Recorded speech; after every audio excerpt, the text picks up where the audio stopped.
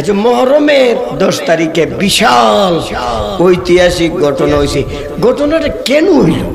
কারণটা কি? কারণটা জানার দরকার আছে কিনা? এই ঘটনাটা কেন ঘটলো? হুসাইন তো নবীর নাতি। ইয়াজিদও কিন্তু বেশি দূরের না। ইয়াজিদ আর হুসাইনের সম্পর্কটা দেখো, দুজন কুরাইশ বংশ। বংশ? দুজন কুরাইশ। আচ্ছা আচ্ছা। দুজন নবীর আত্মীয়। কেমনে ইয়াজিদের আত্মীয়রা আমি মনে করি, কোন দিক দিয়া হুসাইনের চেয়ে কম না, বরং একটু বেশি। বেশিটা বুঝাইতে গিয়া বলি, বউয়ের যে আত্মীয় আছে, বউয়ের আত্মীয়র দামটা বেশি নাও। যেমন ভাই ভাই আমার আপন ভাই। এ সবাই আসতেছে, দেখছেন আপন ভাই, আপন বোন। এর সে আপন আছে। কিন্তু বউর আত্মীয়টা কি এদের চেয়ে কম না বেশি? আশা করে না আরও বেশি। হজরত হুসাইন ছিলেন আমার নবীর জিয়ের গড়ের নাতি।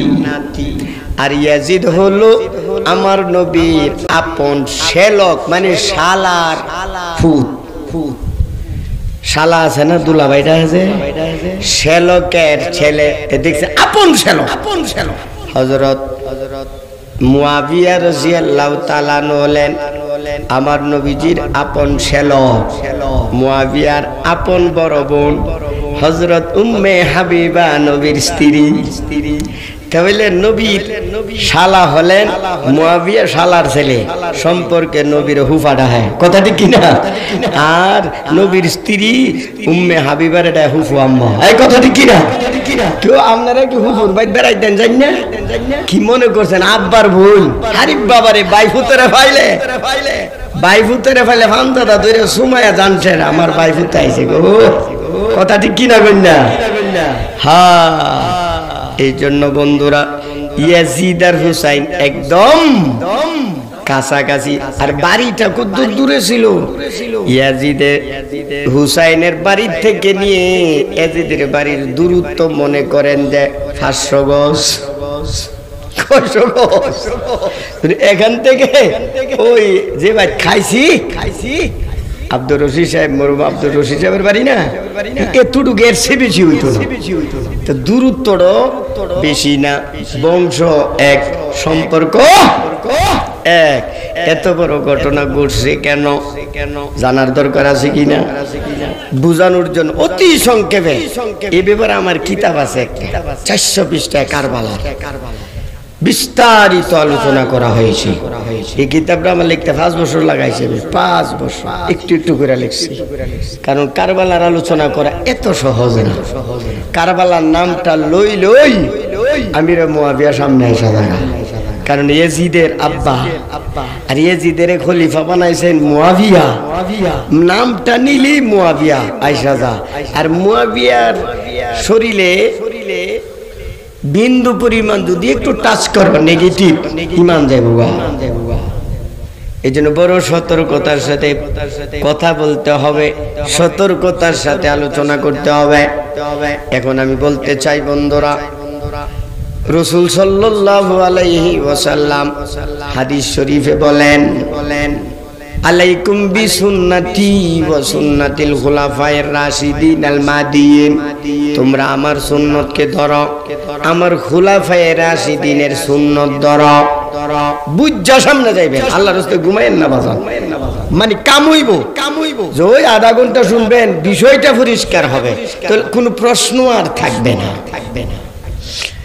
নবীজি বলেন, আমার সুন্নতকে ধরো ধরো আমার খোলাফাই কেরামের সুন্নতকে ধরো।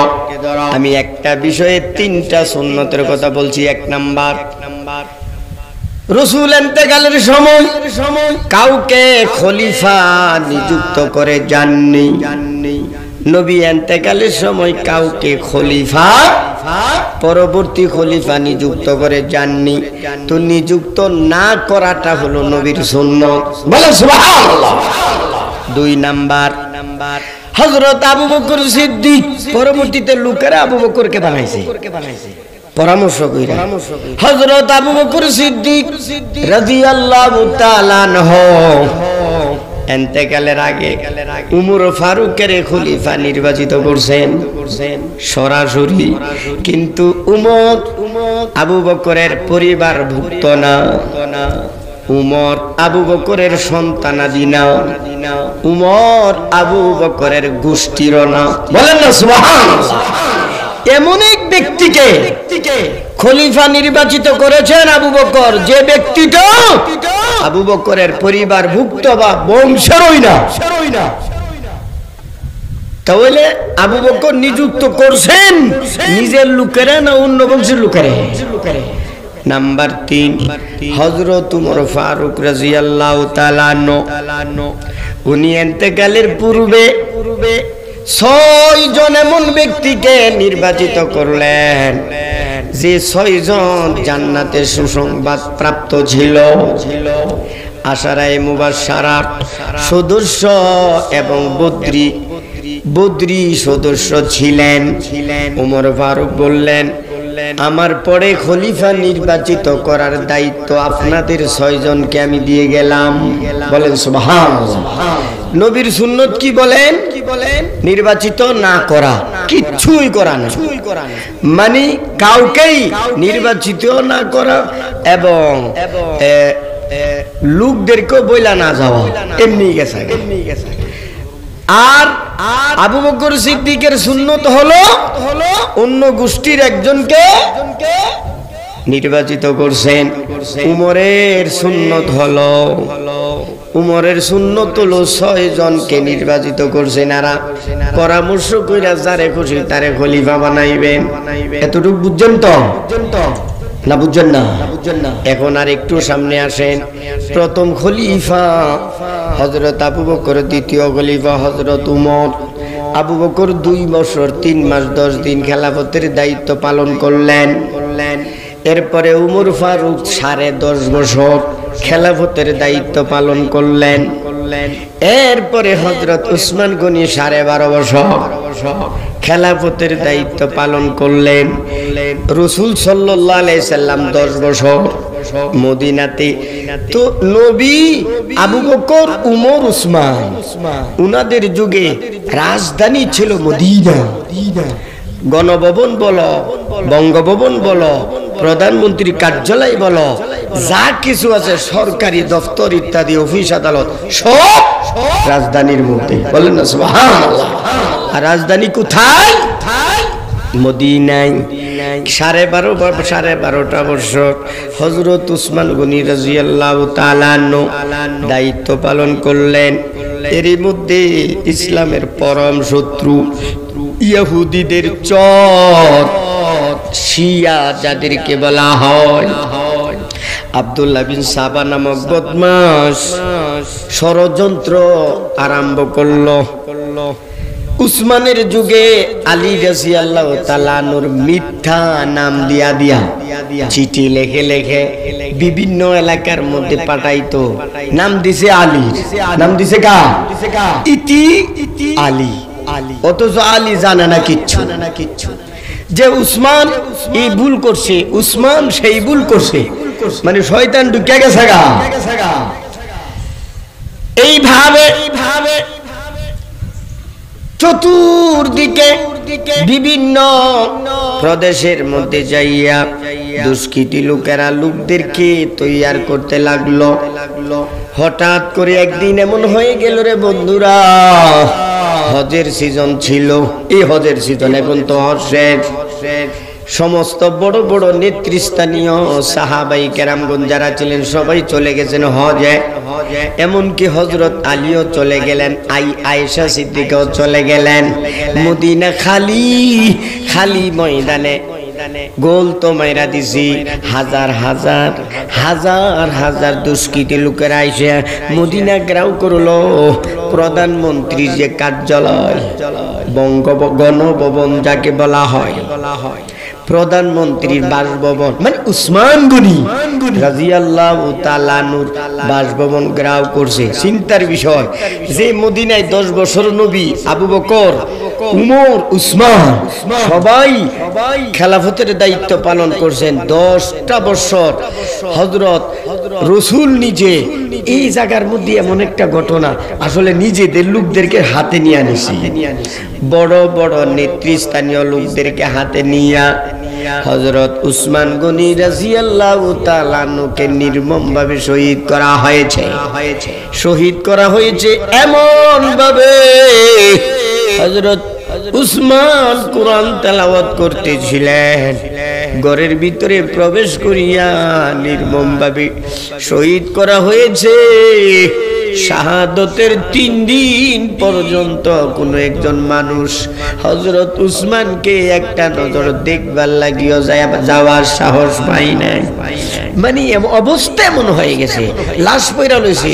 উঠানো তো দূরের কথা, এক নজরে দেখব। দেখার পর্যন্ত সাহস পাই নাই।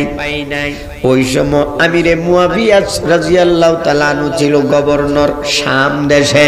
কথা বুঝতেছেন নি সংক্ষেপে আমি বলতেছি, শাম দেশে। অতঃপর সবাই যখন হজের থেকে আসছি এখন তো মর্মান্তিক ঘটনা। উসমানের শাহাদত উসমানকে দফন করা হয়েছে। খলিফা কে হবে? ওই দুষ্কৃতি লোকেরা। বন্দুকের নল। বন্দুকের নলের দ্বারা দ্বারা যা খুশি তা করতেছে। আলীকে বললেন, খেলাফতের দায়িত্ব তোমার নিতে হবে। আলী বলেন আমি নেব না। নিতেই হবে। কথা বুঝছেন তো? উপায় নাই বাজার। এটা ধরলে উপায় আছে নাকি আছে নাকি? কারণ যারা যারা উসমানের মতো ব্যক্তির এমন ভাবে হত্যা করতে পারে শহীদ করতে পারে কি না পারে? সব তো বিদেশি। বিভিন্ন এলাকার থেকে আসছে। এর তো দয়া মায়া নাই। ভাড়াটিয়া। পয়সা দিয়ে আনছে। হজরত আলী রাজিয়াল্লাহু তাআলা নুরাগে তলহাকে বলা হয়েছে। তলহা বদ্রি এবং আশারে মুবাশশারা। জুবাইর বদ্রি, আশারে মুবাশশারা। মানে জান্নাতি টিকিট প্রাপ্ত। তলহাকে বলা হয়েছে, খেলাফতের দায়িত্ব নেবেন। আমাকে একটু আমাকে একটু মানে চিন্তা ভাবনা করার সুযোগ দেন সুযোগ দেন। জুবাইরকে বলা হয়েছে, আপনার নিতে হবে চিন্তা ভাবনা করার একটু সুযোগ তো দেন। চিন্তা ভাবনার কথা কই রাতারাতি সম্পদ। মদিনা সাইরা চলে গেছে, একদম শাম দেশে। ওই আমিরে মুয়াবিয়া রাদিয়াল্লাহু তাআলা আনুর কাছে। অবস্থাটা কেমন ছিল কোনছে একটু একটু শুধু এই যে হ্যাঁ একটু আমাদের বাংলাদেশের মধ্যে ওই যে ঘটনা ওই যে ঘটনা। মরহুম প্রেসিডেন্ট শেখ মুজিবুর রহমান। উনাকে হত্যা করার পর যে একটা অবস্থা হয়েছে এক দুই দিন দুই দিন। এক দুদিন কাছে যাইতে পারছি নি হয়েছে আরে সাহস পাইছে নাকি? কি এর চেয়ে আরও কঠিন অবস্থা মদিনাতে ছিল। তলহা এবং জুবাই দুইজন চলে গেলেন। গিয়া বলতেছে মুয়াবিয়ার কাছে বলছে, অবস্থা এমন। উসমানকে শহীদ করা হয়েছে। উসমান আর মুয়াবিয়া, এরা আপন চাস্ত জাড়াত ভাই। বংশ এক ভাই, স্বাস্থ্য ভাই। তো স্বাস্থ্য ভাইরে মারলে দুঃখ লাগতো না? কারণ তলহা বলতেছে, আমি যদি মদিনায় থাকি, খেলাফতের দায়িত্ব নিতে হবে নিতে হবে। জুবাইরও চিন্তা করলেন যদি থাকি? খেলাফতের দায়িত্ব বন্দুক ধরলে পিস্তল ধরলে বা তোর বাড়ি উঠাইলে যান বাসে আমরা কি দিয়া? যারা উসমানকে শহীদ করতে পারে আমারে তো সেকেন্ডের মধ্যে শেষ করে শেষ করে কিন্তু আলী রাজিয়াল্লাহু তাআলা উনিও নিজে এড়িয়ে যাওয়ার চেষ্টা করছিলেন, কিন্তু পারে নাই। আলীকে বাধ্য করা হয়েছে, খেলাফতের দায়িত্ব নিতে হবে। উনি বলছেন, আমি আমি নিতে তো চাই না, কিন্তু একটা কথা, বদ্রি সাহাবি যারা আছে, এরা যদি আমার হাতে বয়াত হয়ে যায়, আমাকে সমর্থন দেয়। তাহলে আমি খেলাফতের দায়িত্ব নিতে রাজি। কইটা কোনো ব্যাপার না। মদিনাতে যতজন বদ্রি এবং বয়োবৃদ্ধ নেতৃস্থানীয় সাহাবাই কেরামগঞ্জ ছিলেন সবাইকে গ্রেফতার করে আনছে। ডাইরেক্ট এখন গিয়া বয়া যদি বাঁচতে চাস বাঁচতে চাস। আমরা দেশে একটা ইয়ে আছে। আজ কই কইতাছে? আমরা দেশে মানে আমরা তো আমরাতে হাজার মাইল দূরে না। রায়পুরা জন মারা গেছে চেয়ারম্যান সাদেক চেয়ারম্যান তো উপনির্বাচন তো হইব। উপর নির্বাচনে সাত ছয় জন সাত ছয় জন প্রার্থী হয়েছে। ওই যে কিছুদিন আগে আর কি, রায়পুরা উপজেলা চেয়ারম্যান সাত ছয় জন প্রার্থীর মধ্যে। তো শুধু একজন একজন করে ডাকাইছে আর কি মন্ত্রী ডাকায় বাঁচবে না নির্বাচন করবে কয়ালা বাঁচবে না নির্বাচন করবে। যদি বাঁচতে চাস, তো বইয়া দেবে আর যদি কস না, জাগা, বৌজি জীবতাই তেরা এতিম টেতিম কইরা বরে কি কইরা। বিধবা কইরা যাইবে গা তাহলে ইচ্ছা মতন খারো। যখন দিছে বাদন হুমকি একটু দাঁড়াইছে না। ইলার পছন্দের জেলা সিলেকশনে গেছে বলেন না। এটা যদি এখন হইতে পারে হে সময় না? হ্যাঁ। আলীকে বললেন, আলীকে তারা বলল দায়িত্ব নিতে হবে, আলী শর্ত লাগাই দিছে, এরা শর্ত পূরণ করছে। যত বুদ্রি চাবি ছিল গাটটা দৈরা ধরে আনছি। গারো দৈরা আনছি। কাছে না দিছে চাইরা, আলীর কাছে গিয়া স্বইচ্ছাই বয়াত বলেন না, সুবহানাল্লাহ। এই শর্তের উপর আলী কি করছেন? খেলাফতের দায়িত্ব নিলেন। এদিকে ওখান থেকে আলীকে বললেন, উসমান গনির হত্যাকারীদের থেকে প্রতিশোধ নিতে হবে। হবে আলী বললেন আমি এখন যেই অবস্থার মধ্যে আছি আমার পায়ের নিচে মারি নাই। দুষ্কৃতী লোকেরা এখনও পর্যন্ত মদিনা ছাড়ে নাই। ক্ষমতা মনে হয় তার তাদের হাতেই আছে। এখন যে আমি কি করব? কি করব? আমাকে একটু সময় দাও। আমি আমি আমার গদিতে মুসনাদে বৈশা একটু মজবুত হইয়া এক একটা ঘাতকের বিচার আমি করব। কিন্তু হজরত মুয়াবিয়া বললেন, মানি না, নগদ করতে হবে। অবস্থা তাদের, তার এত জানা ছিল না। এই কথা কাটা কাটাকাটি হতে হতে এক পর্যায়ে যুদ্ধ যুদ্ধ হয়ে যাবে। মুখামুখি এই পাশে সত্তর হাজার আরেক পাশে আশি হাজার সৈন্য। বলেন না সোহান সত্তর হাজার আর আশি হাজার সৈন্য যদি একসাথে যুদ্ধ হয়, অবস্থা কেমন হবে? কিন্তু বড় বড় সাহাবাই কেনামগণ উম্মতের দরদি হইয়া সমাধানের চেষ্টা করলেন। সমাধান হয়ে গেছে গা। আলীর শর্ত হলো, আমি সবার বিচার করব, একটু সময় আমাকে দাও। মুয়াবিয়া মেনে নিলেন, অসুবিধা নাই, সময় আপনাকে বেঁধে দিলাম এতদিনের ভিতরে। চুক্তি হয়ে গেছে। বিচার শেষ হবে। আমি আপনার হাতে বয়াত হব। উসমানের বিচার করার আগ পর্যন্ত আমি আপনার হাতে বয়াত হব না। চুক্তি শেষ। মুসলমানরা খুশিতে বাগবা। মিষ্টি বিতরণ করতেছে যে বিরাট দুই দল ঐক্যবদ্ধ হয়ে গেছে। কিন্তু দুষ্কৃতি লোকদের গুম হারাম হয়ে গেছে। দুইজন ঐক্যবদ্ধ হয়ে গেলে আমরা একটা একটা কইরা তাই না সিরালে বিচার একটা একটা করে করবে। রাতের রাতের বেলা যেখানে দুই দলে সন্ধি করেছিল ওখানে রাত্রি যাপন করছে, তাবুতে। ওই দুষ্কৃতি লোকেরা উসমানের হত্যাকারীরা চিন্তা করছে, যদি এখন ফেস না লাগায়, তাহলে আমরা শেষ। আমরার গোষ্ঠী তাবা বানাইলি দুইটা দল করছে, এক দলে গিয়ে আলীর সমর্থকদের উপর হামলা কইরা করছি আর এক দলে আরেক দলে মুয়াবিয়ার সমর্থকদের উপর হামলা কইরা করছি। এরা মনে করতেছে আলীর দলে করছে, আর আলীর দলে মনে করছে মুয়াবিয়ার দলে করছে। আসলে করছে কিন্তু তৃতীয় পক্ষে। বুঝাইতে পারছি? এখন রাতে যেহেতু হামলা হয়ে গেছে, রাত্রে তো আর যুদ্ধ না সকাল বেলা কোনো কথা নাই। প্রস্তুতি তো দুনো দলের ছিল। হুট করে লাগা গেছে। এমন লাগা লাগছে ইতিহাসে এমন কি ইসলামী? ইসলামের এই ইসলামী। যুগে মুসলমানদের মাঝে এত বড় যুদ্ধ এবং এত লোক একসাথে নিহত হয় নাই শহীদ হয় নাই।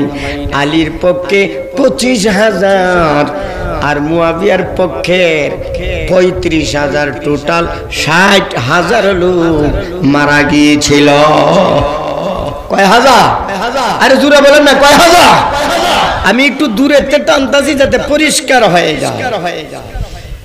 ষাট হাজার লোক মারা যাওয়ার পর তখনও বড় বড় সাহেবিরা আছেন একটা সমঝোতা করছে সমঝোতাই দূর হয়েছে। তুমি তোমার ওই এলাকা নিয়ে রাখো তুমি তোমার ওই এলাকা নাও। বাস। শাম মিশর। ওই সাইডটা মুয়াবিয়ার অধীনে মক্কা, মদিনা, ইরাক, ইরান, এই সাইডটা হজরত আলী রাজধানী ছিল মদিনায়। হজরত আলী মদিনা থেকে রাজধানী স্থানান্তর করে ইরাকের অন্তর্গত নিয়ে গেলেন। কথাটা বুঝে কিছুদিন পরে হজরত আলী রাজিয়াল্লাহ তালানুরে শহীদ করা হয়েছে। শহীদ করা হয়েছে। শহীদ আসলে মুয়াবিয়ারও করল কিন্তু মুয়াবিয়া আল্লাহর কুদরতে বাচ্চা গা। দুষ্কৃতি লুকারা একই টাইমে তিন ব্যক্তিকে ওই সময় মুসলমানদের নেতৃত্ব দিয়েছিলেন তিনজন। এক নম্বরে আলী দুই নম্বরে মুয়াবিয়া তিন নম্বরে আমরুবুল্লাহ আলী ছিলেন কুফাই মুয়াবিয়া ছিলেন শাম আর আমরুবনুল আজ ছিলেন মিশর। দুষ্কৃতি লোকেরা শুধু তিনজন দায়িত্ব নিয়েছে তিনজনে। তো তিনজনে তিন নেতাকে একদিনে একই দিনে শেষ করা হবে। একই দিনে না একই টাইমে যেমন আপনারা জানেন একই টাইমে চৌষট্টি জেলার মধ্যে বোমা ফুটছি না আরে কি পরিকল্পনা কইরা করছে না? এক গড়ি দইরা মানে এতটা বাজে হতে হবে তো তিনও, তিনজন, শুধু ব্যক্তি তিনজন, কাজ কিন্তু বেশি লাগে না। কাজ করতে হইলে মানুষ অল্প হইলেই চলে। তিন ব্যক্তি দায়িত্ব নিছে। তো আমরুবনুল আসের দায়িত্ব যে নিছে, আমরুবনুল আস ওই সময় অসুস্থ ছিল, মসজিদই আসে নাই। উনি বাচ্চা গেছে গা উনার পরিবর্তে যে মসজিদে ইমামতি করছে তারে দিছে শহীদ করে মুয়াবিয়া রাদিয়াল্লাহু তাআলা আগেতেই বিচক্ষণ ছিলেন। মসজিদের প্রথম দুই তিন কাতার পর্যন্ত অন্য কেউ বসতে পারতো না। পরিচিত। উনার যে গার্ড আছে এরা বসতো। এরা বসতো। যার কারণে যে দায়িত্ব নিচে হ্যাঁ সাইন নম্বর কাতরে গিয়ে বসে। কারণ সামনে তো আসতে পারতো না। ফজরের টাইমে সতেরোই রমজান। সতেরোই রমজান। চল্লিশ হিজড়ি সনে। সনে। ফজরের টাইমে টাইমে হজরত আলী রাজিয়াল্লাহ হজরত মুয়াবিয়া রাজিয়াল্লাহ তাআলা হত্যা করার জন্য চার নম্বর কাতারে বসছেন। হজরত মুয়াবিয়া নামাজ আরম্ভ করলেন। বিসমিল্লা করে সুরা যখন আরম্ভ করছে, সে পিছন থেকে আইসা তিনটা কাতার ডেঙ্গা এত আইতুই বাস, এরা তো মানে গার্ড হিসেবে ছিল। আক্রমণ করছে কিন্তু সাকসেস হলো তার আক্রমণ লাগছে ওই না। সামান্য একটু আসুর উপর দিয়ে গেছে গা কি। হজরত মুয়াবিয়া শুয়ে গেছে গা, সাথে সাথে হেরে লাগছে বলেন সুবহানাল্লাহ। কিন্তু আলী রাদিয়াল্লাহু তাআলা নু আলী রাজিয়াল্লাহু তাআলা বাড়ির বাড়ি থেকে যখন মসজিদে যাইতেন, মানুষের ডাকতেন, চলো নামাজে চলো চলো নামাজে চলো। হ্যাঁ আব্দুর রহমান বিন মুলজিম বদমাস। দরজার পাশে দাঁড়াই রয়েছে। আলীর পরিচিত ঘনিষ্ঠ লোক ছিল। তরবারিটা বিষ মিশ্রিত, বিষাক্ত তরবারিটা। পিছন দিক দিয়ে দাঁড়ানো আলী এক পাও মসজিদের ভিতরে আর এক পাও মসজিদের বাইরে। এমন সময় এমন আঘাত করছে এক আঘাতে কারবার শেষ। এমন আহত হয়েছে, বাঁচার উপায় নাই। হজরত আলী শাহাদত বরণ করলেন।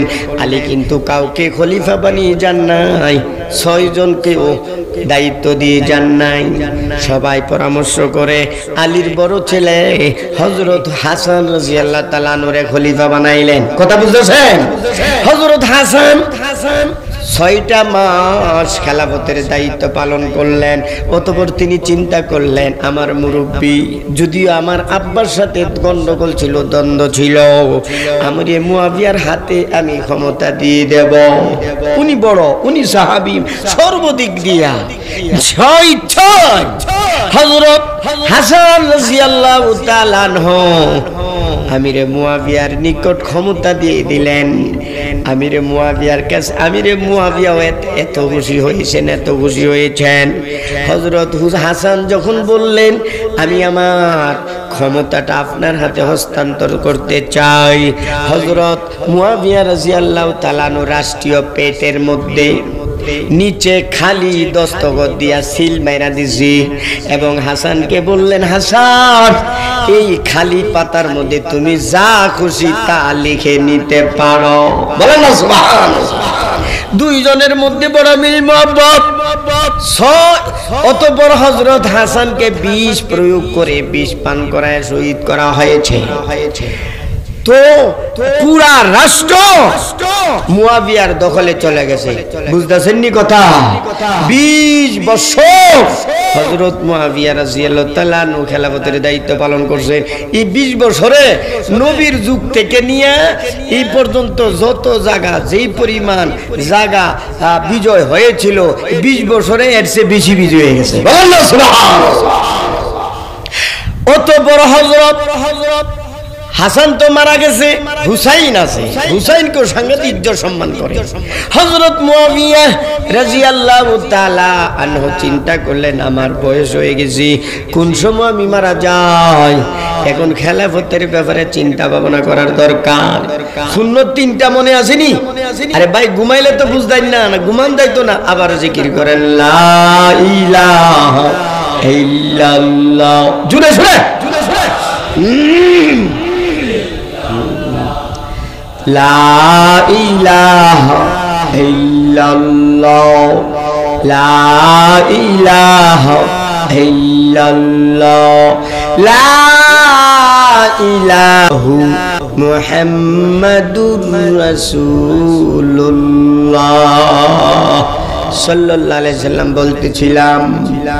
হযরত মুয়াবিয়া রাদিয়াল্লাহু তাআলা চিন্তা করলেন ওনার ধ্যান ধারণা ভালো। আমি যদি খলিফা নির্বাচিত না করে যাই, পরবর্তীতে খলিফা নির্বাচন নিয়ে বিরাট সমস্যা হবে। ওই আমার আর আলীর মধ্যে যে সমস্যা হয়েছিল, সুতরাং বুদ্ধিমত্তার পরিচয় হবে একজন খলিফা নির্বাচিত করে যাওয়া। দলে দলে লোকেরাও আসা আরম্ভ করছে, পরামর্শ দিচ্ছি, আমিরুল মুমিনেন। আপনার জীবদ্দশায় একজনকে খলিফা নির্বাচিত করে যান। এখন তো সবাই একমত, গোটা ইসলামিক কান্ট্রিগুলো এক হয়ে গেছে। আপনি যদি খলিফা নির্বাচিত না করে যান, আবার খলিফা নির্বাচিত করার ব্যাপারে গন্ডগোল আরম্ভ হইব। এই জন্য লোকদের পরামর্শে উনি সিদ্ধান্ত নিলেন, উনি মুস্তাহিদ, ভুল করল না, সুবহানাল্লাহ। হযরত মুয়াবিয়া রাদিয়াল্লাহু তাআলা আনহু। তার বড় ছেলে, এ বড় বিচক্ষণ ছিল, খুশু বক্তা ছিল, কথা কইলে একটা লোক উঠছে না। মধুর কণ্ঠস্বরে ইয়াজিদা কথা বলতো রাজ পরিবারের সদস্য না, দেখতে হিরু মানে নায়কের মতো দেখা যাইতো হ্যাঁ তার পূর্বপুরুষরাও তো নেতা ছিল। এত বুদ্ধিমান ছিল, কখন কি করতে হবে ভালোভাবে বুঝতো। বাটফারি সিটারি করতে গেলে বুদ্ধি লাগে না কেউ? ব্যাগ কলছে করলে তো বললা তাকে ধরা পড়ব। হ্যাঁ? প্রথম ধাক্কায় ধরা ফেরা বারোটা বাজাই লইব। যাই হোক, ইয়াজিদের ব্যাপারে হযরত মুয়াবিয়া রাদিয়াল্লাহু তাআলা সিদ্ধান্ত নিলেন, তাকে খলিফা বানানো হবে। ইয়াজিদকে ডাকা হলো। আমিরে মুয়াবিয়া প্রশ্ন করলেন, তোমাকে যদি খলিফা বানানো হয় কীভাবে তুমি রাষ্ট্র পরিচালনা করবা? ইয়াজিদ ঘোষণা করল, আমাকে যদি এই মহান দায়িত্ব যদি দেওয়া হয়, এত সুন্দরভাবে আমি রাজত্ব পরিচালনা করব। আব্বা জান এখন তো মানুষ উমরে রাষ্ট্র ক্ষমতার আলোচনা করে, যে ভাগ হরিণে এক গাঁটে পানি পান করেছে। আমি এত সুন্দর সুন্দরভাবে এত নেই পরায়ণের সাথে ইনসাফের সাথে আমি কি করব? কি করব? রাষ্ট্র চালাইব উমরের কথা মানুষের ভুলে যাবে আমি ইয়াজিদের কথা স্মরণ রাখতে হবে। আসলে ঠিক আছে উমরটে ভালোর দিকে স্মরণ রাখতো আর ইয়াজিদ দ্বারা খারাপের দিক দিয়া মানে ক্ষমতা দিয়া কিন্তু মুহূর্তের মধ্যে পরিবর্তন হয়ে গেছে। অতপর হজরত মুয়াবিয়া রাদিয়াল্লাহু তাআলা ইয়াজিদকে ঘোষণা কইরা দিলেন। ঘোষণা কইরা আল্লাহর দরবারে দোয়া করছেন। শামের কেন্দ্রীয় জামি মসজিদের মিম্বরে বসে বসে আল্লাহ, আমার জানা মতে ইয়াজিদ ভালো দায়িত্ব পালন করতে পারবে। ইয়াজিদকে যদি উপযুক্ত মনে কইরা আমি তাকে যদি খলিফা বানাইয়া তাকে শুধু পুত্র হিসাবে না সিংহাসনে বসার আগে আগে তারে মৃত্যু দিয়ে দাও। মিম্বরে বৈশা দোয়া করছি। বাকি সে যদি উপযুক্ত হয় তোমার পক্ষ থেকে সাহায্য, তার প্রতি অনুগ্রহ সাহায্য করো। এই কথা বলে হজরত মুয়াবিয়া চলে আসলেন মদিনায়। মদিনা হুসাইনের সাথে আর অনেক ছিল। এর মধ্যে মেন ছিলেন হজরত হুসাইন। বৈশা যাইন বাসান বেশি কষ্ট দিতাম খার হয়ে থাকলে আমার কষ্ট লাগে। ও এই দিকটা জায়গা আছে। হ্যাঁ হ্যাঁ। হজরত হুসাইন ছিলেন মেন উনার সাথে আরও অনেক লোক ছিল, বড় বড় সাহাবিরা, অনেক লোক। অনেক হজরত হুসাইনের নামটা শুধু আমি নিচ্ছি। ওখানে গেলেন, মদিনায় আসলেন। আয়সা বলতেছেন, ইয়াজিদের আমি খলিফা নির্বাচিত করেছি, তোমরা বয়াত হয়ে যাও। হুসাইন বলেন কশিন কালেও না কথা বুঝছেন? এখন আমি কিন্তু বুঝানোর জন্য আপনাদেরকে ব্যাপারটা বুঝাইতেছি।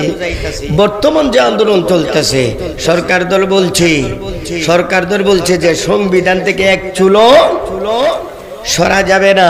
বিরোধী দল বলছে, আমরা তো দেখছি দুই পিরিয়ড, দুই পিরিয়ডে দেখলাম এই মানে সরকারের অধীনে সুষ্ঠু নির্বাচন সম্ভব না। ইডই তো ইডই তো গন্ডগোল, কি করেন আপনারা? সংসদের মধ্যে কি করছে কি করছে? পাশ করছে যে সরকারের অধীনে কি করতে হবে? নির্বাচন করতে হবে। বিরোধীরা বলে, না, হবে না। কেন? আমরা আইডিয়া আছে, দুইটা নির্বাচন। এরই ভিত্তিতে আন্দোলন। কথা ঠিক কিনা? আচ্ছা আন্দোলন যে করতেছে, এরা ঠিক করতেছে না ভুল করতেছে? ঠিক করতেছে একদিকে লক্ষ্য করলে গণতন্ত্র তো ঠিক করতেছে। কেন? যে যদি সরকারের অধীনে নির্বাচন যদি করা হয় তো জিন্দিগিতে বিরোধী দল আর ক্ষমতার সোহয় দেখতো না সোহায়। কারণ আগে তো রাত্রে দিছে না অনেক সপ্তাহ আগে মেরা দিব। এক সপ্তাহ আগে মেরা দিব। তাহলে এরা তো ভালোভাবে জানে। সুতরাং সুষ্ঠু নির্বাচন সম্ভব না। তত্ত্বাবধায়ক সরকারের দাবিতে আন্দোলন করতেছে কিনা বলে? এখন আসেন।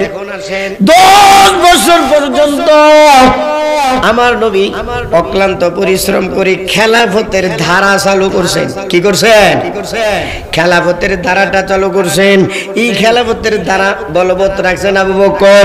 খেলাফতের ধারা বলবৎ রাখছেন উমন খেলাফতের ধারা উসমানের সমত উসমানের সমত নাই কেহ। আলী সম বলবৎ রাখছেন। এখন মুয়াবিয়া রাজি আল্লাহ তালা এমন কাজ করতে চাইতেছে যে খেলাফতের দ্বারা চিরকালের জন্য বন্ধ হয়ে যাব। অর্থাৎ নিজের ছেলের যদি নিজের জীবদ্দশায় রাষ্ট্র ক্ষমতায় বসায় যা তা রাজ, রাজতন্ত্র শুরু হয়ে যাবে।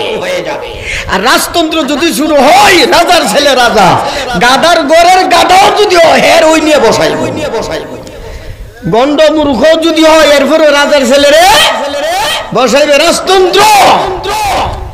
এটা সবাই মেনে নিতে পারলেও এত বড় ক্ষতি হবে ইসলামের যে খেলাফতের দ্বারা চিরকালের জন্য বন্ধ হয়ে যাবে। রাজতন্ত্র চালু হয়ে যাবে। হাদিস শরীফে নবীজি বলেন মানরা মিনকু মুনকারা। তোমরা যদি অনিসলামী কার্যকলাপ দেখো ইসলামের ক্ষতি হচ্ছে এমন কোন কাজ দেখো। শক্তি প্রয়োগ করে। বন্ধ করো। নতুবা কথার দ্বারা নতুবা, অন্তরে অন্তরে ঘৃণা করে। হজরত আরেক হাদিসের মধ্যে নবীজি বলেন যে, যেখানেই থাকো না কেন, খবরদার সত্য কথা বলতে তোমাদের মুখ যাতে বন্ধ না হজরত হুসাইন বললেন, হয়তো নবীর সুন্নত আপনি অবলম্বন করেন, কাউকে খলিফা বানাইবেন না। দুই নাম্বার, আবু বকরের সুন্নত অবলম্বন করেন খলিফা বলান সে আপনার পরিবার বা গোষ্ঠীর কেউ হতে পারবে না। হতে পারবে না। তিন নম্বর ছয়জনকে দিয়ে যান বিশ্বস্ত, নির্ভরযোগ্য। এরা পরবর্তী খলিফা নির্বাচিত করবে এই হলো তিন শূন্য চতুর্থ নম্বরে আমি কোনটা মানব না। বলেন তো, হুসাইনের দাবি ঠিক আছেন কিনা? হুসাইনের দাবি ঠিক, মুয়াবিয়ার পদ্ধতিও উনার। ঠিক হয়েছিল যে যদি না কইয়া না কইরা যায়, তাহলে আগের মতো গন্ডগোল হইব। উনার এই এস্তেহাদি নিজের নিজের ব্যক্তিগত সিদ্ধান্ত ছিল ব্যক্তিগত সিদ্ধান্তে মানে এস্তেহাদে ভুল হইল এক সোয়াব আছে। বলে সোহান এরই মধ্যে এরই মধ্যে মুয়াবিয়া মারা গেছে। মারা গেছে। মারা যাওয়ার আগে একটা কথা বারবার বলছেন। শোনো, হুসাইন, আব্দুল্লাহ বিন জুবাইর, আব্দুল্লাহ বিন উমর, আব্দুল্লাহ বিন আব্বাস। এই চারজন হলো সবচেয়ে বড় নেতৃস্থানীয় এবং মুরব্বী সাহাবি বর্তমানে। এদের সাথে বেয়াদিবি করবা না। এরা যদি কোনো কিছু করে ফেলে, তুমি মার্জনার দৃষ্টিতে দেখবা, খবরদার এদের সাথে বেয়াদিবি করবা না। মুয়াবিয়া এন্তেকালের আগেও আগেও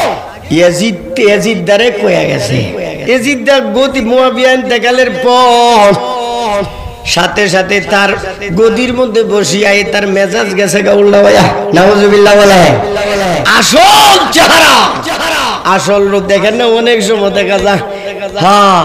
মাঝে মধ্যে দেখা যায় আব্দুল কাদির জিলানের মতো বুজুর্গ রাবিয়া বসিরের মতো আল্লাহর ওলি হইয়া যা ক্ষমতায় যাওয়ার পরে ইয়েজিদের চেয়ে ফেরাউনের চেয়ে আরও খারাপ কাজ করে। কথাটা কি না এটা সবাই জানে। ইয়েজিদা ক্ষমতায় বৈশা প্রথম পদক্ষেপ করছে হুসাইনকে বলো। আমার হাতে আমার হাতে বয়াত গ্রহণ করার জন্য। মুদিনাতে পাঠাইছে, গভর্নরকে বলছে, যদি সে স্বেচ্ছাই কি করে বয়াত হই আলহামদুলিল্লাহ, নতুবা তাকে হত্যা করে ফেলব। নওয়াজুবিল্লাহ বলেন না। এ গাদা এতটুকু বুঝছে না যে হুসাইন ব্যক্তিটাকে আলীর ছেলে, খাতুনে জান্নাত ফাতেমার কলিজার টুকরা। দু জাহানের বাদশা রসুল সাল্লাল্লাহু সাল্লামের কলিজার টুকরা। কিন্তু অর্ডারটা কি দিছে? হয়তো সে যদি বাঁচতে চায় তাহলে তাকে বয়াত গ্রহণ করতে হবে নতুবা কেল্লা উড়াই দিবা। এই সংবাদ হজরত হুসাইনের কাছে চলে গেছে। অতি সংক্ষেপে বলতেছি কষ্ট হইতেছে আপনাদের। হজরত হুসাইন রাজি আল্লাহ তালান অবস্থা বেশি ভালো না। জোরপূর্বক আমাকে নিয়ে নেবে রাতারাতি। রাতি উনি চলে গেলেন। রাতারাতি চলে গেলেন মক্কায়। মানে মক্কায় গেল ও লাভটা কি মক্কাতে দৈরান্তর রান্তার তো না? রাষ্ট্র তো তারই এখন হজরত হজরত হুসাইন রাজি আল্লাহ হুসাইনের যুক্তি কি? যে খেলাফতের ধারা বন্ধ কইরা রাজতন্ত্রের পদ্ধতি রাজতন্ত্রের পদ্ধতি চালু করতে চাচ্ছ, এটা আমি মানব না। এটা শরীয়ত বিরোধী, ইসলাম বিরোধী। ওনার যুক্তি ঠিক নেই। ওনার আন্দোলনও ঠিক। হজরত হুসাইন মক্কায় চলে গেলেন। মক্কায় গিয়ে চিন্তায় পড়ে গেলেন। আমি যদি মক্কায় অবস্থান করি এদের পক্ষ থেকে বাহিনী আইসা, হয়তো আমাকে গ্রেফতার করে নিয়ে যাওয়ার চেষ্টা করবে। আমার পক্ষের লোকেরা বাধা দিলে খুন খারাপি হবে যুদ্ধ বেঁধে যাবে। আমার কারণে মক্কা নগরীতে এই মক্কা শরীফে খুন খারাপি হবে, এটা আমি চাই না। এখন কি করা যায়? এরই মধ্যে ইরাকের অন্তর্গত কুফা শহর থেকে দেড়শো চিঠি আসে। জুড়ে বলেন না। দেড়শো তো চিঠি সে চিঠিতে বলা হয়েছে, আপনি নাকি এজিদের হাতে বয়াত গ্রহণ আমরাও করি নাই। চাওতা কইছি। মিথ্যা কথা বলছে। আমরাও করি নাই। সুতরাং আপনি বিলম্ব না করে দেরি না করে আমাদের কুফায় চলে আসুন। সবাই আপনার হাতে বয়াত গ্রহণ করে নেব। দেখছেন কেমন বুদ্ধিটা দিছে? অতিভক্তি? সুরের লক্ষণ। হজরত হজরত হুসাইন রাজি আল্লাহ চিন্তার মধ্যে পড়ে গেলেন, এখন কি করা যায়? বিপদের সময় যে ওই একটু আশ্রয় দে, তার কাছে যেতে হয়। হ্যাঁ একদল লোক আসে, শুধু চিঠি না, একদল লোক আইসা গেছে। কুফা শহর থেকে আইসা হজরত হুসাইন রাজিয়াল্লাহ তালানুয়ের সাথে সরাসরি সাক্ষাৎ করলেন। সাক্ষাতে বলতেছেন, কোনো ভয় নাই, সব আপনার আব্বার রাজধানী, সব আপনার ভক্ত, চলে আসো। হজরত হুসাইন রাজিয়াল্লাহ তালানু কুফা শহরে যাওয়ার সিদ্ধান্ত নিলেন। একচাটিয়া ভাবে সবাই হজরত হুসাইনকে নিষেধ করছেন। হুসাইনকে বলা হচ্ছে হুসাইন। আল্লাহর দয় দিয়া বলছি, কুফা শহরে যাইও না। কুফাবাসীরা গাদ্দার, তুমি গেলে তোমাকে তারা শহীদ করে ফেলবে। পরিকল্পনা গেছে যে হইল বল দিয়া নিউন আর কি। হই দিয়া, জোরে কন্যা হজরত হুসাইনকে এমন কোন লোক বাকি নাই, সবাই নিষেধ করছে। এক পর্যায়ে হজরত আব্দুল্লাহ আব্বাস কঠোর ভাবে নিষেধ করছেন। হুসাইনকে বলতে দেন হুসাইন আমার যদি ক্ষমতা থাকতো হুসাইন তোমার মাথার চুলটা ধইরা তোমাকে আমি বারণ করে রাখতাম। আল্লাহর শপথ দিয়ে বলছি তোমার সাথে বেয়াদবি করার ক্ষমতা আমার নাই। ও হুসাইন তোমার হাতে ধরি পায়ে ধরি তুমি কুফার দিকে যাইবা নবী পরিবারের নবীর কলিজার টুকরা নাতি একমাত্র তুমি দুনিয়াতে আসো বলে না সুতরাং তুমি যাও না। উনার কথা না। শূন্য মানে না যাওয়ার সিদ্ধান্ত হয়ে গেছে। এরই মধ্যে রাত্রে একটা স্বপ্ন দেখছে। বলেন আল্লাহ कोशिश बेकार है, कोशिश बेकार है, कोशिश बेकार है जब। जब हाँ वही होता रहेगा, जो खुदा मंजूर है। कोशिश बेकार है जब आदमी मजबूर है। कोशिश बेकार है जब आदमी मजबूर है। हाँ वही होता रहेगा जो उसे मंजूर है আল্লাহর যা ফাইসালা তাই তো হবে কথাটি কি না বলে হজরত হুসাইন স্বপ্নে দেখলেন দুইটা স্বপ্ন দেখছেন। একটা স্বপ্ন হলো নবীজি হজরত হুসাইনকে ডেকে বলছেন, হুসাইন রে, দেরি কেন করছ? চিন্তা ভাবনা কেন করছ? আমি তোর জন্য অপেক্ষা করছি। আর দেরি করিস না। হুসাইন, তুই তাড়াতাড়ি আমার কাছে চলে আ হলো এক স্বপ্ন এক স্বপ্ন। দ্বিতীয় স্বপ্ন এই স্বপ্ন দেখার পরে হজরত আবদুল্লাহ বিন আব্বাস যারাই নিষেধ করতো আপনারা নিষেধ করতেন কাম হইতো না। আমি এমন স্বপ্ন দেখছি এখন আমাকে আর বারণ করে কেউ রাখতে পারবে না। এবং কারবালার ময়দানে যাওয়ার পরে শেষ আর একটা স্বপ্ন দেখছি। হজরত নবীজি গ্লাস শরবতের গ্লাস হাতে দিয়া হুসাইনকে ডেকে বলছেন হুসাইন! আমি রোজা রাখছি রে হুসাইন, তোর অপেক্ষায় আছি। তুমি দেরি করো না, তাড়াতাড়ি আসো। তুমি আসলে শরবত দ্বারা দুইজনে ইফতারি করব। এ শরবত হইল শহীদের শরবত যাই হোক হজরত হুসাইন রানা হয়ে গেলেন। যারা চিঠি দিয়ে নিছে শব্দানটা কি নালাইছে? শব্দানটা কি করছে? পয়সার নাম বাবা বাজান। বুন্দাড়া বান্ডেলে সাইরা দিলে কি মনে করছে? এখন দেখতেছেন না, প্রশাসন প্রশাসন যত আছে, মাস্টার মাস্টার আছে, সব সব কিন্না বাবরাইলে যেমন নুন খাইলে কি করুন লাগবে দূরে কন্যা দশ টিয়ার বেতন হয়ে গেছে তিরিশ টিয়া আরও বাড়াইবো। আরে বাবা রে সাইলের দরটা কমছে মনে বিশ পঁচিশ টিয়া দায় করছে। হ্যাঁ? না আরও বেশি। আরও বেশি। যাই হোক। যাই হোক। চাইলের দরটাই তো দাম আর সপ্ত হস্ত হয়েছে কি কম? কি কম? কিন্তু এত মূল্য বাড়ার পরেও বেতন কিন্তু বাড়ানো কম নাই। কোথা বাড়াইতে আছে। ঘরে ঘরে চাকরি মাশাল্লাহ কিন্তু পুলিশের চাকরি নিতেও গেলে লাগে দশ লাখ। দশ লাখ। কয়লা? কয়লা। চকিদারির চাকরি নিলে তিন লাখ। তিন লাখে নিচে প্রশ্নই আসে না। এই কথা ঠিক কিনা না। যাই হোক বলতেছিলাম হজরত হুসাইনকে যারা দাওয়াত দিছি আসছি চিঠি দিছে সন্তানটা কি নালাইছে? এরা টাকা না পাইয়া এরা এমন করছে আমরা সবার আগে তাহুম। আগে তাহুম। মানে হুসাইনকে মারার জন্য সবার আগে থাকবে। থাকবে সংক্ষেপে বলছি বন্ধুরা হজরত হুসাইন তার পরিবারের সদস্য টোটাল আশি জন।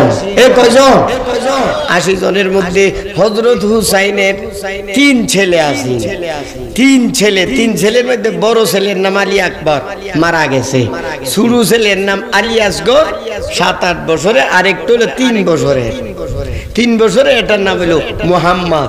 তাহলে এক ছেলে আলী আসগর আর এক ছেলে মোহাম্মদ। হুসাইনের দুই মেয়ে। একজনের নাম ফাতেমা আর একজনের নাম সাকিনা।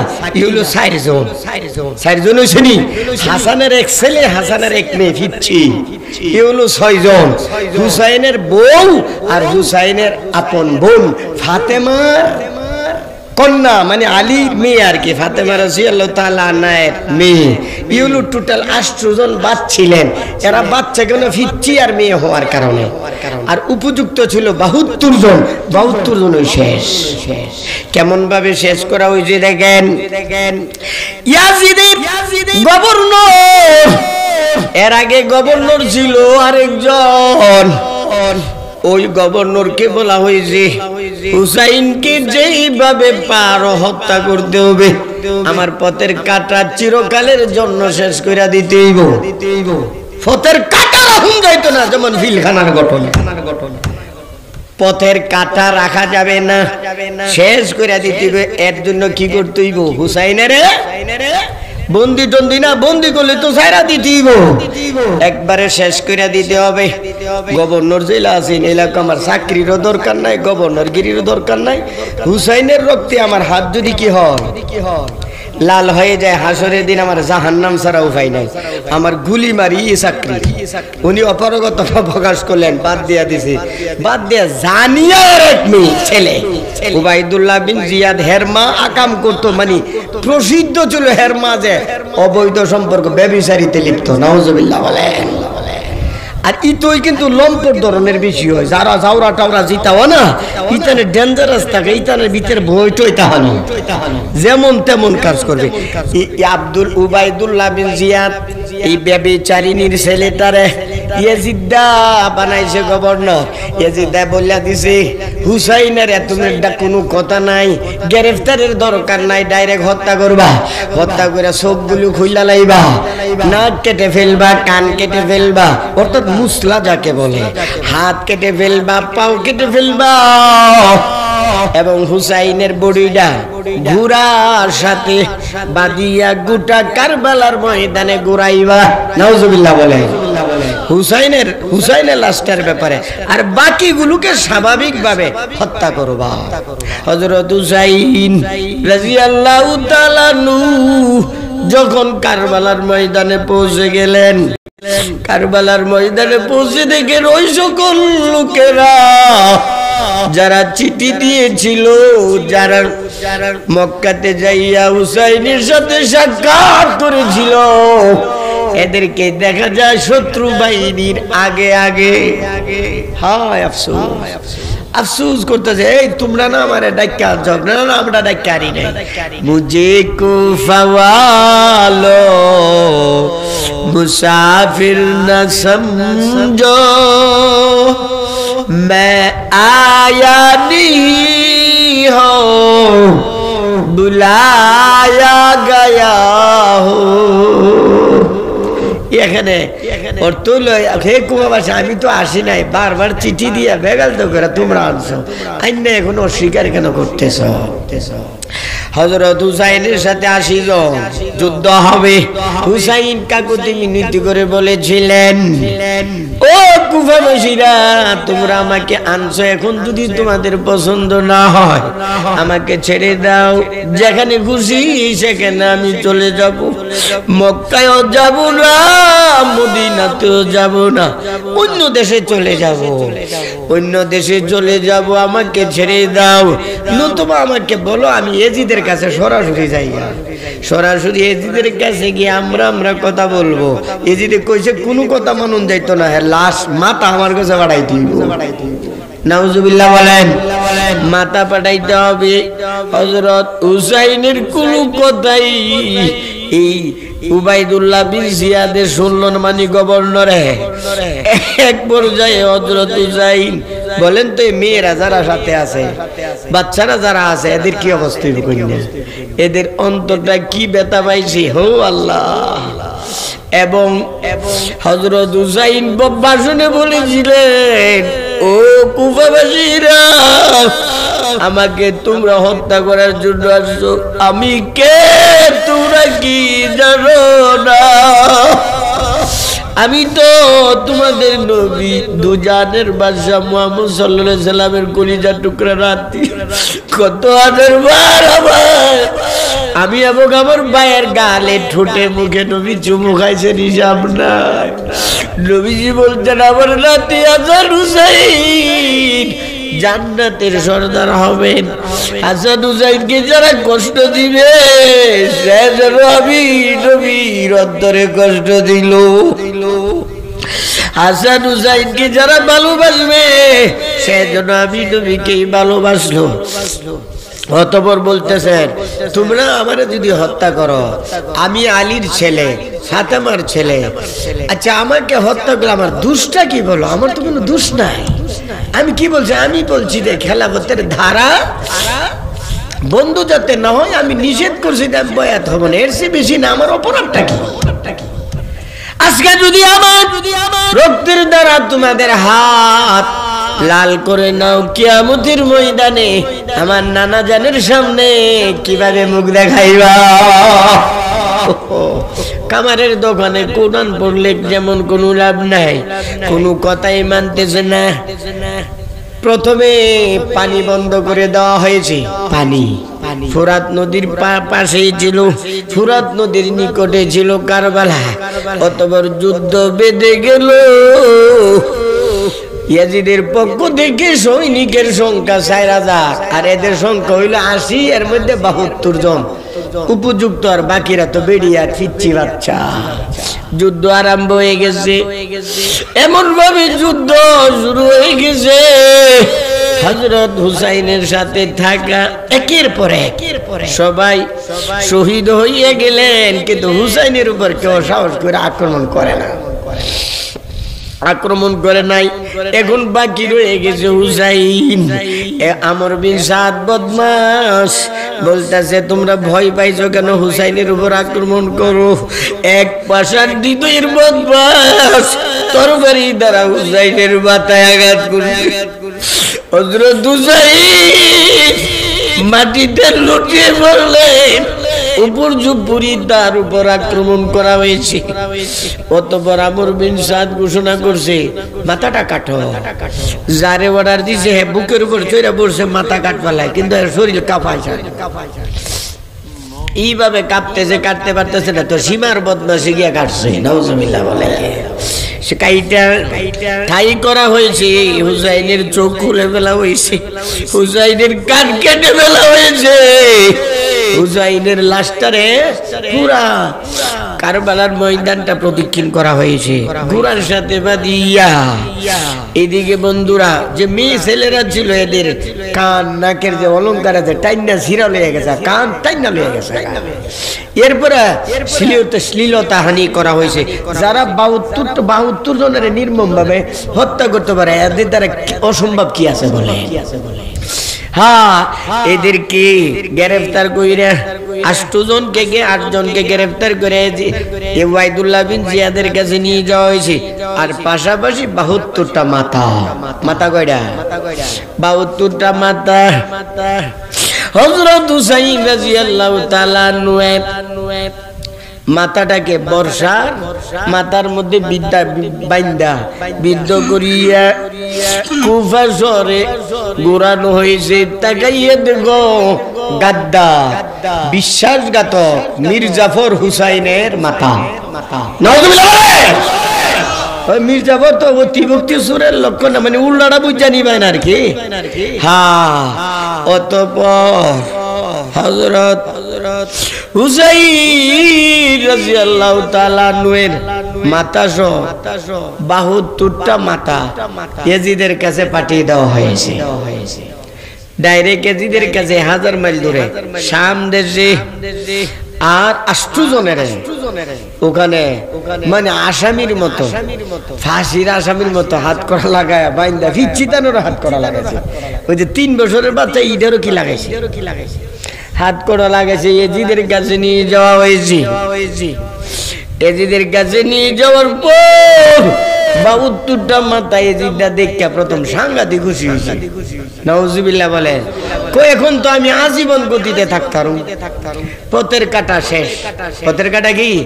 যাদেরকে মারার দরকার সাইজ করে লাইছে আগেও।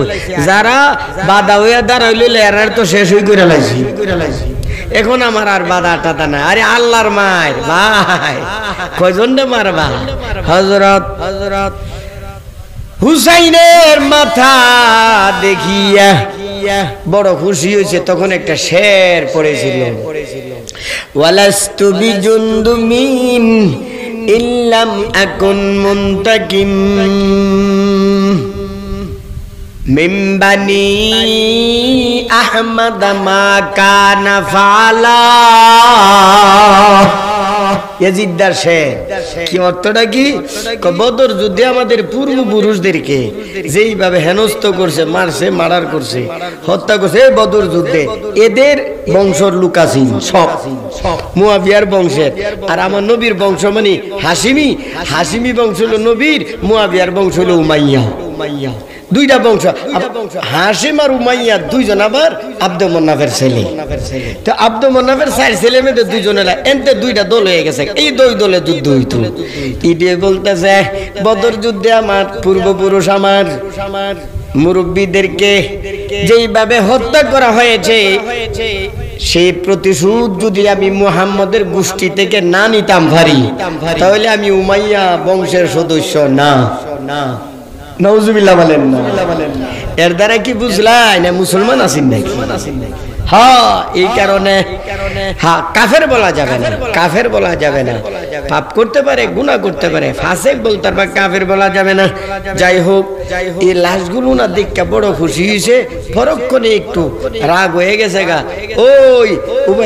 জিয়াদের উপর কেন? যাতে করে মানুষে এখন তো ঘৃণা চতুর্দিক থেকে মানুষের ঘৃণা আসবে। এরপর থেকে আজ পর্যন্ত একটা বাচ্চার নাম মানুষ এজিত রাখে নাই। রাখছি যদি আমার ছেলের নাম রাখো। যদি কয় আমি বলি এজিত রাখো। রাখবাই না জীবনে। আব্বা ডাক্কা গলে রাখবা রাখ কেন? মানে এত কলঙ্কিত সে হয়ে গেছে। নামের উপর মানুষ এত খুব কেমন পর্যন্ত কোন বাচ্চার নাম পর্যন্ত এজিদ হিসাবে রাখতে চাই না। কথা ঠিক কিনা? যাই হোক দেখেন আপ্যায়নগুলো দেখেন কীভাবে করতেছে।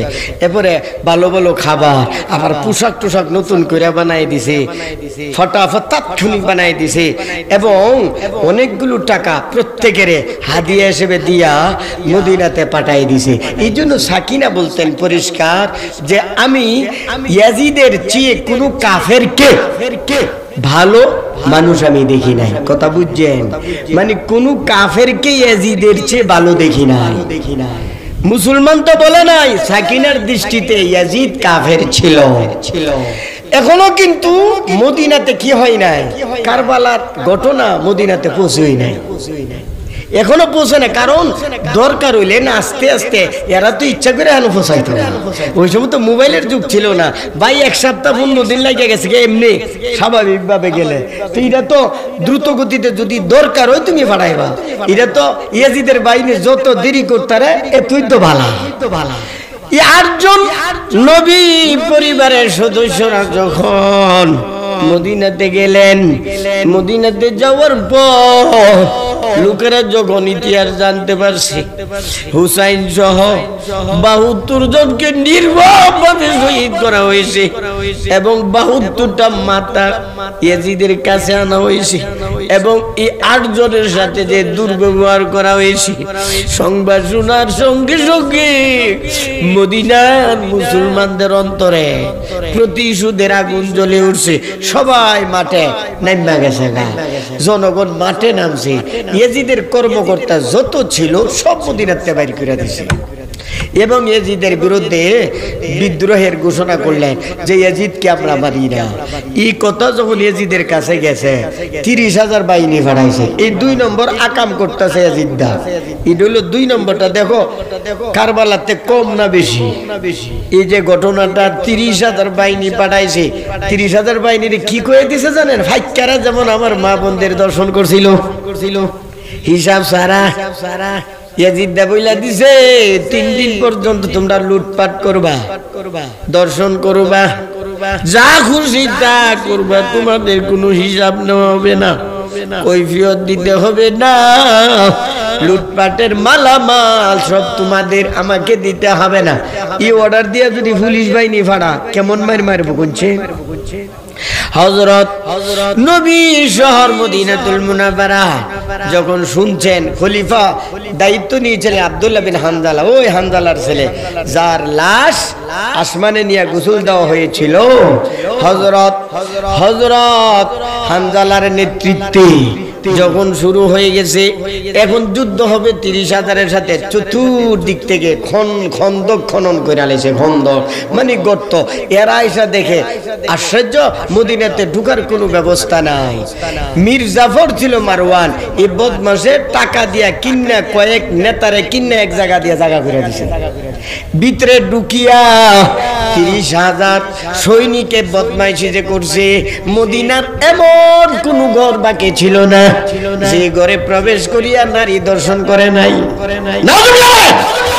প্রত্যেকটা ঘরে প্রত্যেকটা ঘরে অত সাহাবি ওই সময় সাতশো সাহাবি শহীদ হয়েছে সাহাবির যুগ। হজরত হুসাইন রাজিয়াল্লাহ তালানুর ভক্তবিন্দু যারা আছেন, এরা তো আছে। বাকি এক হাজার অবিবাহিতা মেয়ে গর্ভবতী হইয়া বাচ্চা প্রসব করছে। এক হাজার। সাতশো নেতৃস্থানীয় তাবি সাবি। আর দশ হাজার হলো সাধারণ মানুষ। তাদের লাশ সড়কের মধ্যে রাস্তার মধ্যে পড়ে রয়েছে। নবীর মসজিদ। এক সপ্তাহ পর্যন্ত আজানও নাই, নামাজও নাই, ইমামতিও নাই, কিচ্ছু না। ঘোড়া বাধা হতো নবীর মসজিদের মধ্যে, ঘোড়ার আস্তবল বানাইছিল। এই অপকর্মগুলো করেছিল ইয়াজিদে। এরপরে যা হবার হয়েছে, ইয়াজিদও শান্তিতে থাকতে পারে নাই বাজান। এরপরে দুই বছর বাচ্চে একটা মুহূর্ত শান্তিতে থাকা নাই। আরেকটা মজার বিষয়, কারবালার মধ্যে যারা হুসাইনের হুসাইনের পরিবারের সদস্যদের সাথে যারা যারা শরিক ছিল, একটাও বাঁচতে পারে নাই। প্রত্যেকটারে দইরা দইরা এমন সাহেস্তা করা হয়েছে আমরা শুধু সত্তর জনের কথা শুনি, পরবর্তী এদের বিচারের কথা শুনি না।